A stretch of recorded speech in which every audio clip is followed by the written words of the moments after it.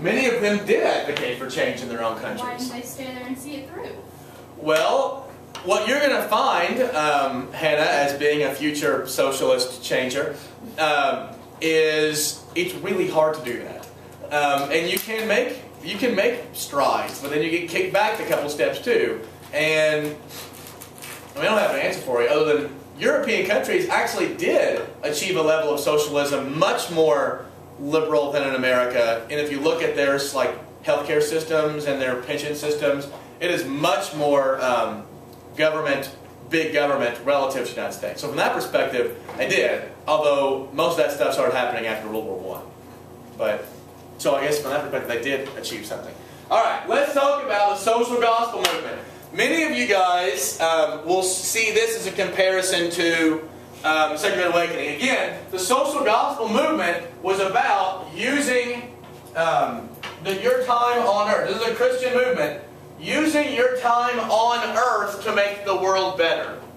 How do you do this thing where there's no cut in the middle? Just just the middle? in between the feet. Whoa! Oh, that's magic. I didn't know they did Didn't know that it either. What I'm was not when it happens. it? What was it using Well, your didn't time on earth It's just accident? Yeah, it's cr- remember a lot Protestant, a lot of a lot of Protestant churches believe that Earth is just a place where you prepare yourself for the, your real time in heaven, right? But um, now they're thinking, talking about this the Second Awakening, and now it's even becoming more substantially based in their religious code. That you change the world for the better while you're on earth. That is your Christian duty to do.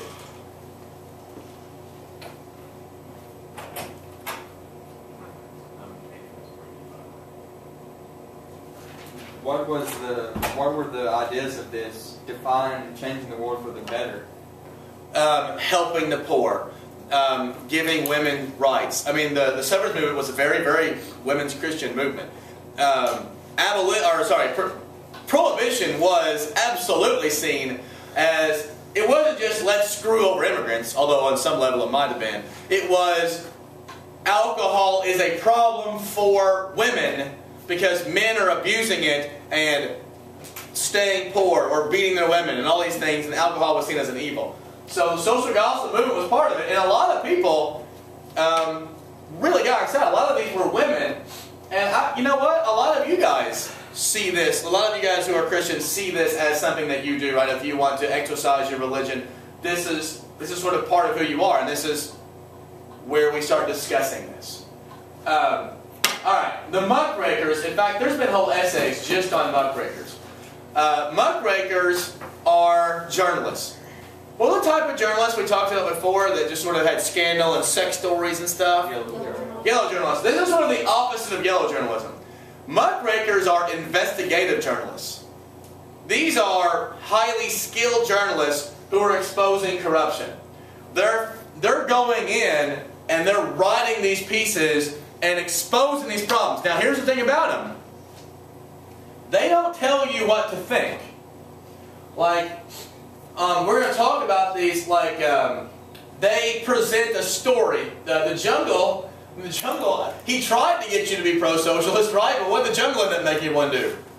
Hate packing. Yeah, be sick and call for, you know, changes in, in meat I processing. don't understand that. Like, I guess they only read the first like 50 pages, and they're like, "This is so disgusting." Well, you have to also remember, also, you have to also remember that today in popular literature, you don't have a lot of socialist writing, but then you did. Most, uh, a lot of writers who were influential and smart were, I mean, think about half the people on your list that I had you guys read had some level of socialism within its context, right? Yeah. Um, That's a very but what was different was, oh my lord, this is gross. And also, the story when you guys are reading about Jurgis and his family, you're like, this is the worst thing ever. But for a lot of people, they're like, eh, see this every day. But what I don't see is a dead feces in my food. Or a dead body in my food. Like, didn't the rats eat the dad or whatever? They're able kids. Starting like, slow. Yeah, and the, the, one of the, someone that I like. Stanislaus crossing the street. No, he No, He died of rats. He your fell asleep. He fell asleep. He fell asleep and was attacked by rats. Right, I hate that. So Um, that you can't remember what happens, or that somebody got eaten by rats. Stupid Yes. I blame- Have you seen, have you seen that movie where that guy? I think it's I'm not really Wilbur, sure. He's super, or maybe William or something. He's super creepy, and he's like Obviously, this he doesn't have cancer. any family or for some reason, and so he makes friends with all these rats, and he goes around attacking people. And eventually, bad things happen, and I haven't, but it sounds really good. it's really creepy. Bad thing happened. Uh, let's talk about a lot of these muckrakers are women. In fact, the first one I want to talk about is a woman named Ida Tarbell. Um, she's actually down here. Um, Ida Tarbell wrote for a magazine called McClure's. McClure's and Collier's magazines were really, really popular progressive journals that had a lot of authors that exposed corruption. In fact, um, Jacob Riis wrote for McClure's. What he would do is he, lot that book, actually each chapter was in McClure's um, and then became a book. Um, and it was important. Lincoln Steffens wrote a book called The Shame of the Cities, and actually every one of his chapters was in McClure's and ended up becoming a book. What he did, this is really, really funny, unless you're a corrupt, a corrupt politician. He went to cities, almost every major city, and he started doing an investigation. And when he would write his chapter about New York or Philly or Pittsburgh or Chicago, he called people out by name. He wasn't like, Chicago is very corrupt. They have the following problems. We should do something about it. He wasn't saying change. He was just saying, James Mason is the alderman over this area. Here's all the crap that he's done. Here's how much money he's made off of these people. And here are all his connections. Also really bad for the city is Madeline Davis. And we just and he didn't say you gotta go get him. He just had it all out there. And cities started to change because when they saw Lincoln Steffens showed up, they were like, holy crap, we don't want to be in this book. And because of Lincoln Steffens, we start getting calls for what's going to be called the Australian ballot. He's, ca- he's calling on he's, he's calling out these corrupt people. The Australian ballot is the secret ballot. And that's going to be one of the big progressive changes. It? Um, I think because it originated in um, um, Indonesia. I guess I guess that was the first one. I don't know. The Australians, they're they're an inscrutable folk.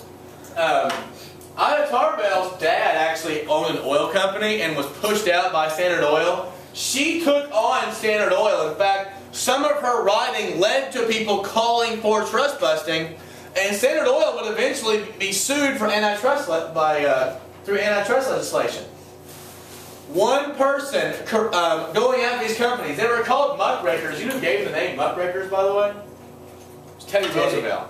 Teddy Roosevelt didn't like them. He says they uh, they uh, raked up muck because they were getting everyone's dirt exposed.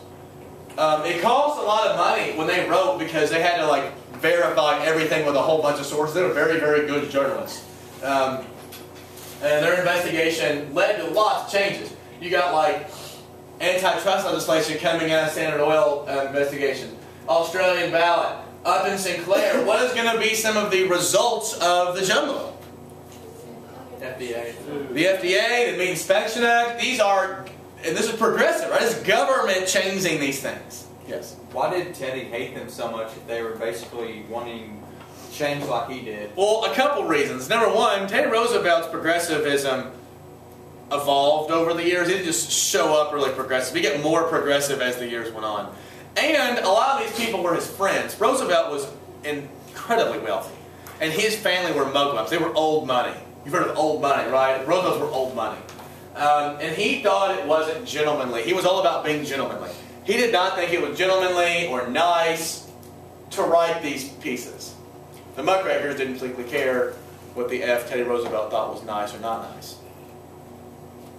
David Phillips, um, Duncan like him, he wrote a book called Treason of the State. And in his research, he found, and Hannah, I'm sorry for this, of the 90 senators in the Senate, 75 of them were on the payrolls of Yes. corporations. That means essentially the Senate was bought and paid for. Literally bought and paid for. Just like it is today. It's a little less obvious today um, because of um, campaign finance laws allowing for uh, you know secret super PACs. But yeah, of the state. Basically, these senators were like, "I will vote for your stuff, so long as you give me money. They're open for sale. And people couldn't vote them out because who voted in senators? Corporations. State legislatures did. And what do you think is going to be one of the calls because of treason of state? Right. Direct election of senators, right? Which ends up being the 17th Amendment. Were there any states with um, what's it called? Uh, term limits On their what? on on senators and representatives. No, that's a federal thing, so no, there are no term limits on that. Now, some states have term, well, many states have term limits on the governor's mansion, although some states don't. Arkansas's used it changed. Arkansas, you used to be able to have be a governor forever, but they only had two-year terms. Bill Clinton was elected, I think, five times as governor because he kept getting two-year terms. It was really odd. Um, okay, so let's do a little bit more, and then we'll review a little bit. Um, let's talk about progressive activists. Um, social workers are going to become vital in cities as they're helping people who are um, trying to overcome the problems that were put on them by this cruel and unhelping capitalism. This capitalism that takes away your soul, that eats at the very person of who you are. It's all the truth is Yay, capitalism! Capitalism is there. I want to go evil. home and watch this. Just because. Do that. Yay, capitalism. That was from like, um, um, have you seen the first Austin Powers?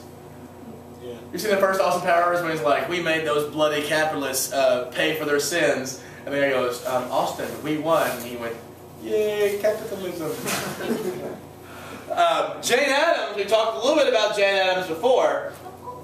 Um, the Hull House creating, and she is part of the Settlement House movement, helping poor immigrants and specifically women move into or move into a better situation or out of abject poverty. Um, social workers, what type of gender are going to be heavily dominated in the social work realm? Obviously. Women are. So women are becoming active with job opportunities, and this is a this is an educated middle class job too, right? This isn't like seamstress or telephone operator, which is more working class. This is more middle class. I mean, it's not quite as like upper crust as like history or econ teacher, which is pretty much really, really, really socially impressive.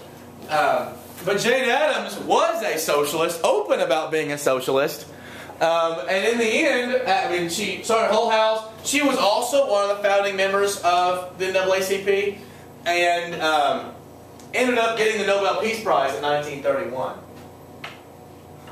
gonna put that on my resume. I helped fund the. You helped found something, right? Um, you also know, you know who else you're going to get to this? Who was a radical socialist? Florence Kelley. Well, she was probably a socialist. Helen Keller.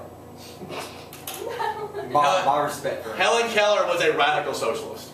Um, we don't. She hasn't been written that in history because it's not a sweet thing for someone like that to be. So what we remember is her overcoming, obviously, the problems that she was dealt with in life. But she was a radical socialist, and Zen obviously we're talking about this in, on the upcoming chapters. So, did you know that Madeline is in love with Helen Keller? Oh, look at you! That's a good. You know what? That's a good person to be in love with. Um, You'll, you'll be a socialist. yeah, it's better than Hannah being in love with J.P. Morgan. Yeah. Um, or, or Miles being in love with Sitting Bull. um, Florence Kelley, we talked about Florence Kelley a little bit before. Um, she was the Secretary General of the National Consumer League. Who does, who, do, who does consumers leagues look out for? Consumers. Right. But what does that mean? What are they trying to get off the market? Bad things. Crap that's bad for people. They're trying to get off the market crap that's bad for people. Um, specifically like food with rat feces. Or um, medicine. The medicines back then were basically useless and or heroin.